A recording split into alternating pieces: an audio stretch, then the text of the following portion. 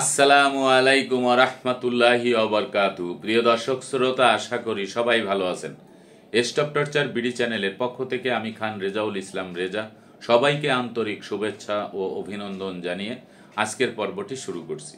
আজকের পর্বের যে ভিডিও, সেই ভিডিওর মূল বিষয় হচ্ছে, তামাদি আইনের আঠাইশ ধারা বাতিল না হলেও ভূমি অপরাধ প্রতিরোধ প্রতিকার আইন দুই হাজার তেইশ যেটি নতুন পাশ হয়েছে, সেই আইনের মাধ্যমে আপনার সেই অবৈধভাবে দখলচ্যুত সম্পত্তি কীভাবে ফেরত আনবেন, সেই বিষয়টি নিয়ে বিস্তারিতভাবে আলোচনা করব।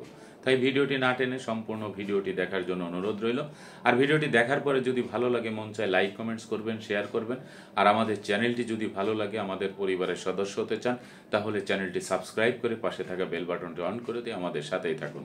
প্রিয় দর্শক, শ্রোতা, আমরা সর্বপ্রথমে তামাদেনের আঠাইশ ধারায় কি বলেছে সেই বিষয়টি জানব এবং পরবর্তীতে ভূমি অপরাধ প্রতিরোধ প্রতিকার আইনে এই বিষয় কি বলেছে সেই বিষয়টি আমরা দেখব। তারপরে বিস্তারিত আলোচনা করে ভিডিওটি শেষ করব।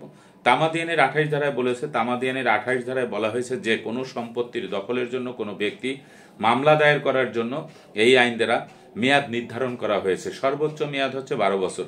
সেই সময়ের মধ্যে যদি মামলা না করা হয়, তাহলে সম্পত্তি ওই ব্যক্তির অধিকার বিলুপ্ত হয়।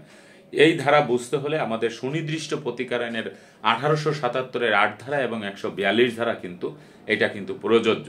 কারণ যখন আপনার সম্পত্তি দখল হয়ে গেছে, আপনার সম্পত্তি যখন অবৈধভাবে দখলচ্যুত হয়ে গেছে, তখনই বলা হয়েছে যে বারো বছর পর্যন্ত আপনি একটি সময় পাবেন, সেই সময় মোতাবেক আপনাকে কিন্তু মামলা দিতে হবে। এবং সেখানে সুনির্দিষ্ট প্রতিকার আইনের আঠারোশো সাতাত্তরের আট ধারা এবং বিয়াল্লিশ ধারার কথা এখানে কিন্তু, একশো বিয়াল্লিশ ধারার কথা কিন্তু এখানে বলা হয়েছে। সুনির্দিষ্ট প্রতিকার আইনের আট দ্বারা সুনির্দিষ্ট স্থাবর সম্পত্তি পুনরুদ্ধারের বিষয়ে বলা হয়েছে এবং তামাদি আইনের একশো বিয়াল্লিশ অনুচ্ছেদে বলা হয়েছে, আট ধারায় সম্পত্তি পুনরুদ্ধারে মামলা করতে হবে, বেদখলের তারিখ হতে বারো বছরের মধ্যে। তবে আপনার দখলে থাকা সম্পত্তি যদি কেউ জোর করে দখল নিতে চায়, তখন কিন্তু আপনি একশো চুয়াল্লিশ ধারা বা একশো পাঁচচল্লিশ ধারা, এটাও কিন্তু আপনি করতে পারবেন। সুতরাং তামাদিয়ানের আঠাইশ দ্বারা পর্যালোচনা করলে সুস্পষ্টভাবে বোঝা যায়, আপনি কোনো জমি থেকে বেদখল হলে, বেদখলে বারো বছরের মধ্যে সম্পত্তি পুনরুদ্ধারে মামলা না করতে পারলে সম্পত্তি আপনার, আপনি হারাবেন। এই যে একটি বিষয়, এই বিষয়টি নিয়ে আমি বিস্তারিতভাবে একটু পরেই আপনাকে মানে আপনাদের বিস্তারিতভাবে আলোচনা করব। তো এইখানে আরও একটি কথা কিন্তু এখানে বলা হয়েছে। যে যদি কেউ সংঘাতপূর্ণভাবে যদি কেউ সংঘাতপূর্ণভাবে বা জোর করে অন্যের সম্পত্তি দখল করে, তাকে জবরদখল বলা হয়। আবার আইনের দৃষ্টিতে জবরদখল একটি সম্পূর্ণ অবৈধ এবং একটি অপরাধমূলক বিষয়। কোনো সম্পত্তি কেউ জোর করে দখল করে একটানা বারো বছর ভোগ দখলে রাখলে বা থাকলে সেই সম্পত্তিতে তারা অধিকার সৃষ্টি হবে না।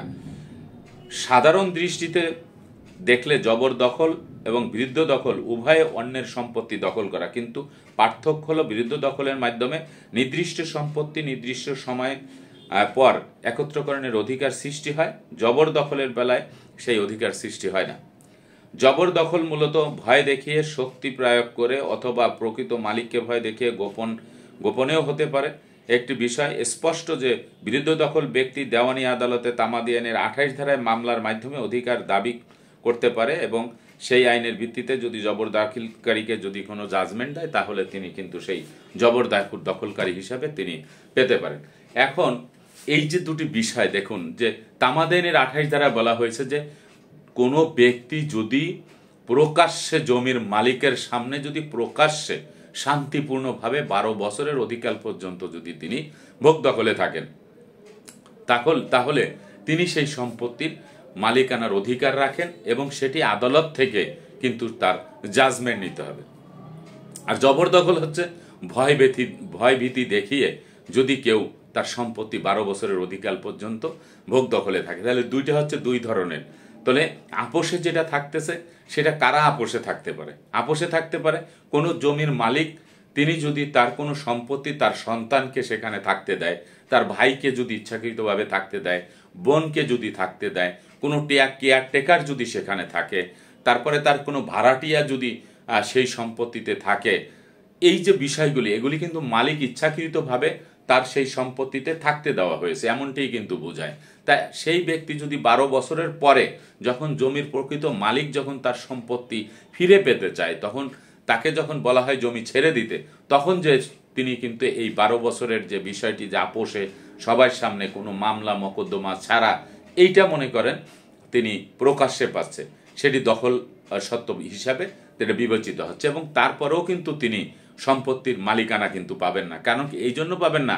যেই ব্যক্তি থাকতে দিছে, সেই ব্যক্তি যেদিন শুনবে, যেই দিন শুনবে যে ২০ বছর পরে যদি তার ভাই বা তার সন্তান যদি বলে যে জমি ছাড়বো না, ওই দিনই কিন্তু তিনি আইনগত ব্যবস্থা নেবেন এবং তিনি কিন্তু তখন সম্পত্তি ফিরে পাবেন এবং তখনই আপনাকে সুনির্দিষ্ট প্রতিকার আইনের আঠারোশো সাতাত্তরের আট ধারা এবং থামাদিনের একশো বিয়াল্লিশ ধারায় কিন্তু আপনাকে মকদ্দমা করতে হবে। এই গেল আপনার একটি বিষয়। এখন যেই ব্যক্তি দখল হয়েছিল প্রকাশ্যে, বিশ বছর থাকুক, পনেরো বছর থাকুক, তিরিশ বছর থাকুক, এই ব্যক্তি আদালত কর্তৃক যত সময় পর্যন্ত জাজমেন্ট না পাবে, অত সময় পর্যন্ত তিনি তিনি অধিকার রাখেন জমির মালিকানার বাট তিনি কিন্তু মালিক নন। এই বিষয়টা কিন্তু মাথায় রাখতে হবে। আর জবরদখলকারী যিনি যিনি জোর জবর দখল করে সম্পত্তি রেখেছে, দীর্ঘ বছর, সে হতে পারে পঞ্চাশ বছর, হতে পারে সত্তর বছর, হতে পারে আশি বছর, কিন্তু এই জবর দখলকারী কিন্তু কখনোই এই সম্পত্তির মালিকানা পাবেন না এবং তিনি সেই মালিকানা পাওয়ার যে অধিকার, সেটিও তিনি পাবেন না, কারণ জবর দখলকারী একটি অবৈধ দখলকারী তিনি একটি অপরাধ করেছেন এবং তার কিন্তু সেখানে পানিশমেন্ট হবে। এটি কিন্তু পূর্বের আইনে ছিল যে তামাদিয়ানের আঠাশ দ্বারায় এমনটি কিন্তু বলেছে। আর নতুন যে আইনটি আমরা পেয়েছি, সেটি হচ্ছে যে ভূমি অপরাধ প্রতিরোধ এবং প্রতিকার আইন। যেহেতু আঠাইশ ধারা বাতিল হয় নাই, তাহলে ভূমি অপরাধ প্রতিরোধ এবং প্রতিকার আইনে কি বলেছে? এই কথা এই আইনে কিন্তু সরাসরি আপনার তিন ধারায়, অর্থাৎ গেজেট যাদেরকে দিয়েছি তিন নাম্বার পাতায় দেখবেন, তিন ধারায় বলা হয়েছে, এই আইন বিধানগুলি অতিরিক্ততা। অর্থাৎ যে এই আইনে বিধানবলী অন্যান্য আইনের কোনো বিধানের ব্যত্যয় না হইয়া উহার অতিরিক্ত হিসাবে বিবেচিত হইবে। অর্থাৎ এই আইনটি করা হয়েছে যে প্রচলিত যে আইন আছে, সেই আইনটিকে সহায়তা করার জন্য, সাহায্য করার জন্য একটি অতিরিক্ত আইন। তাহলে যে তামাদিনের আঠাইশ ধারা তো বাতিল হয় নাই তাহলে আমরা যে বিষয়টি নিয়ে আলোচনা করতেছি, সেই বিষয়টিতে দলিল যার ভূমি হবে তার, তাহলে তামাদিনের আঠাইশ ধারা বাতিল হয় নাই। তাহলে দলিল যার ভূমি হবে তার, তাহলে দলিল সম্পর্কে কি বলছে? দলিল সম্পর্কে বলছে, দলিল অর্থ ভূমির মালিকানার হস্তান্তর বা বন্টনের উদ্দেশ্যে সম্পাদিত বা কৃত যে কোনো দলিল। বায়না দলিল, তারপরে হেবা দলিল, তারপরে হচ্ছে আপনার দান দলিল হেবা বিল আওয়াজ দলিল, অর্থাৎ সাব রেজিস্টার অফিস থেকে যেই ধরনের দলিল সাব রেজিস্টার অফিস থেকে বৈধভাবে আইন মেনে, নিয়ম মেনে সরকারি সার্ভিস চার্জ দিয়ে যে দলিলের ভিতরে অন্য কোনো ব্যক্তির কোনো সত্য নেই, সেই সকল দলিলের কথাই কিন্তু এখানে বলা হয়েছে। তারপরে বায়না দলিল, রশিদ আমোক্তানামা নকশা, এসকেস, ম্যাপ, হাত নকশা, খতিয়ান, ডুপ্লিকেট, কার্বন রসিদ ভূমি উন্নয়ন কর, পরিষদ কর পরিষদের দাখিলা বরাদ্দপত্র সারপত্র অনপত্তিকর সনদপত্র অ্যাভিডেভিট এতদার সঙ্গে অন্য যে কোনো দলিল ইহার অন্তর্ভুক্ত হইবে। এখন দেখেন যে এই ভূমি অপরাধ প্রতিরোধ এবং প্রতিকার আইনে যে কথাটি বলা হয়েছে, যে যদি আপনি সম্পত্তির মালিকানা পেতে চান, দলিল যার, ভূমি তার, তাহলে আপনার এই সকল দলিলের অংশ আপনাকে থাকতে হবে। মূল দলিল থাকতে হবে সাব রেজিস্টার অফিস থেকে সেটি থাকতে হবে। তারপরে খতিয়ান থাকতে হবে। যে জরিপ খতিয়ান, যেটি আমরা বলি সিএস খতিয়ান এস এ খতিয়ান আর এস খতিয়ান বিআরএস খতিয়ান, আপনার হালসাল নাগাদ পর্যন্ত খাজনার দাখিলা থাকতে হবে। আপনার নামে নামজারি করে সে নামজারি খতিয়ান আপনার নামে থাকতে হবে। আপনার ম্যাপ থাকতে হবে, নকশা থাকতে হবে। আপনার কাছে মনে করেন যে আমুক্তা দলিল থাকতে পারে। আপনার কাছে বায়না রেজিস্ট্রি বায়না দলিল থাকতে পারবে। এই যে ডকুমেন্টসগুলি, এই ডকুমেন্টসগুলি কিন্তু আপনার কাছে থাকতে হবে জমির মালিকানা। তা জমির যিনি প্রকৃত মালিক তার তো দলিল আছে, তার রেকর্ড খতিয়ান আছে, তার খাজনা রসিদ আছে সব কিছু আছে। কিন্তু দেখা গেছে কোনো ব্যক্তি গায়ের জোরে পেশি শক্তি খাটিয়ে, লাঠির জোরে তারপরে পলিটিক্যাল বলে, যে কোনোভাবেই হোক না কেন, তিনি অন্যের সম্পত্তি জবর দখল করে রেখেছে। তো এই যে জবর দখল করে রেখেছে, এই জবর দখল করে রাখাটাই হচ্ছে একটি অপরাধ। আর এই অপরাধের জন্য কিন্তু পূর্বেই কিন্তু বলা হয়েছিল যে ভূমি অপরাধ প্রতিরোধ প্রতিকার আইন আসার আগেই প্রচলিত যে আইনটি আছে, সেই আইনেই বলা হয়েছিল যে সুনির্দিষ্ট প্রতিকার আইনের আঠারোশো সাতাত্তরের আট ধারা মোতাবেক এবং একশো বিয়াল্লিশ ধারা মোতাবেক আপনি মকদ্দমা করতে পারবেন। কিন্তু তখন কিন্তু একটি সমস্যা ছিল। সেই সমস্যাটা কি? যে আদালত কর্তৃক জাজমেন্ট দিয়ে দেওয়ার পরও এই সকল রাঘব বোয়ালরা, এই সমস্ত দুর্নীতিবাজরা, এই সমস্ত প্রতারকরা, তারা কিন্তু সম্পত্তি আদালতের যে রায় তাকে তোয়াক্কা না করে জবর দখল করে, জবরদস্তি করে দখল করে রাখত। এখানে অসহায় মানুষরা যে, তারা কিন্তু কোনো সুফল পেত না, তাদের সম্পত্তি ছেড়ে দিত না। এবং দেওয়ানি আদালত কর্তৃক যে মামলা মকদ্দমা হতো, তার সেখানে কোনো বিধান ছিল না যে এই সকল প্রতারক চক্রকে, এই সকল দুর্নীতিবাজদেরকে কোনো শাস্তি জরিমানা করে। কিন্তু অপরাধ প্রতিরোধ প্রতিকার আইন দুই হাজার তেইশ, এটিতে স্পষ্টভাবে বলা হয়েছে যে এই সকল দলিল ছাড়া কোনো ব্যক্তি যদি জবর দখল করে রাখে, তাহলে তার কিন্তু শাস্তি হবে এবং তার জরিমানা হবে অথবা উভয় দণ্ডে দণ্ডিত হবে এবং এই মামলা কিন্তু তিনটি আদালতে হবে। দেখেন, এত সুন্দর করে সাজিয়ে দিয়েছে যে তিনটি আদালত হবে। যেই সকল জমি সংক্রান্ত বিষয় অপরাধজনিত কোনো বিষয় নাই, সেই সমস্ত মামলাগুলি সরাসরি ফৌজদারি আদালত দেওয়ানি আদালতে হবে। আর যেই সকল জমি সংক্রান্ত বিষয়, অপরাধ ঘটিত হয়েছে সংগঠিত হয়েছে যে সেখানে মনে করেন যে জাল দলিল হতে পারে, জাল খতিয়ান হতে পারে, জবরদখল করে একজনের সম্পত্তি তিনি নিজ দখলে রেখেছে, পাশের জমিয়ালার জমি থেকে উপরের স্তর কেটে নিয়ে আসছে, সেখানে একটি পুকুর তৈরি করে ফেলছে, অথবা একজনের পুকুর ছিল সেটাতে মাটি দিয়ে ভরাট করে ফেলছে। এই যে অপরাধ করেছে, এই সকল অপরাধকে চিহ্নিত করে, এইটি কিন্তু ফৌজদারি আদালতে সেই মামলাটি করা যাবে, এমনটাই কিন্তু এই ভূমি অপরাধ প্রতিরোধ এবং প্রতিকার আইনে কিন্তু বলা হয়েছে। এবং সেই ফৌজদারি আদালতে যদি কোনো মকদ্দমা ভ্রাম্যমাণ আদালতে দেওয়া সম্ভব হয়, তাহলে সেই ফৌজদারি আদালত থেকে আবার ভ্রাম্যমাণ আদালতেও কিন্তু এই মামলাটি হস্তান্তর করতে পারে। আবার দেওয়ানি আদালতও যদি কোনো মামলা থাকে, সেই মামলার যে, যিনি জাজমেন্ট দিবেন যে বিচারক মহোদয়, তিনি যদি মনে করেন যে তার এই মামলাটি সরাসরি ফৌজদারি আদালতে প্রেরণ করা দরকার। তিনি ওখান থেকেও কিন্তু ফৌজদারি আদালতে প্রেরণ করতে পারবেন। তার মানে এই ভূমি সংক্রান্ত বিষয় যে অপরাধী করা হোক, সেটি কিন্তু সরাসরি ফৌজদারি আদালতে যেতে পারবে এবং তিন মাসের ভিতরে এই মামলাটি নিষ্পত্তি করার যে আদেশও কিন্তু এখানে বলা হয়েছে। তো এখন যে তামাদিয়ানের আঠাইশ দ্বারা পূর্বের আইনের যেহেতু এখানে বলা হয়েছে যে পূর্বের আইনের কোনো ব্যত্যয় ঘটবে না, এইটি একটি সাহায্যকারী আইন। সাহায্যকারী আইন হলেও আপনি যে জবর দখলকারী আপনার জবর দখলকারী অবস্থায় আপনার কাছে কোনো ডকুমেন্টস নেই। আপনার কাছে অতিরিক্ত হলে একটি রেকর্ড খতিয়ান থাকতে পারে। আপনি জবর দখল করে আপনি হয়তো কোনো উপায়, উদ্দেশ্য প্রণীতভাবে আপনি ভূমি অফিস থেকে আপনি আপনার নামে নামজারি করে নিতে পারেন। এটি আপনি করতে পারেন।